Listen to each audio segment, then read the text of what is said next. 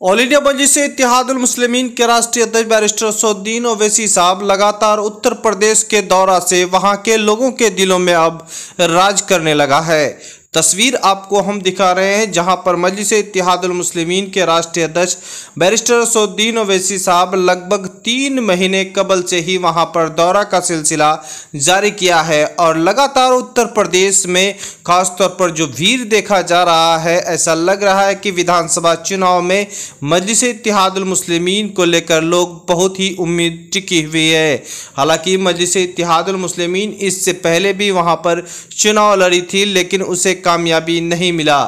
مجلس کے راشٹریہ عدد بیرسٹر اسدین اویسی صاحب اور اتر پردیس کے مجلس اتحاد المسلمین کی پوری ٹیم نے لگاتار وہاں پر محنت جاری رکھا۔ نتیجاتاً یہ ہوا کہ اس بار جلہ پنچایت چناؤں میں مجلس اتحاد المسلمین کو بری کامیابی حاصل کی۔